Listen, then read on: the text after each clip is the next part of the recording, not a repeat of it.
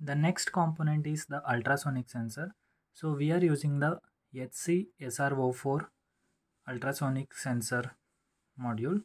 So it is having the four pins mainly VCC, trigger, echo and ground.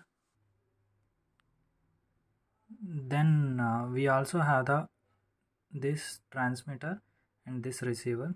So basically how it works is uh,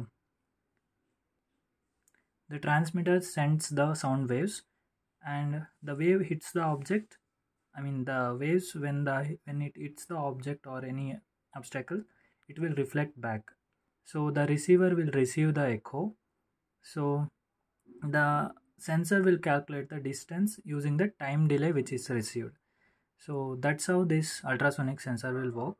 So for our project we are using two ultrasonic sensors. Uh, so you'll see the connections later on.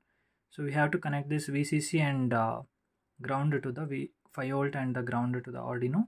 And the trigger pins to the digital pins and uh, echo pins to the digital pins based upon our code. So we will see that later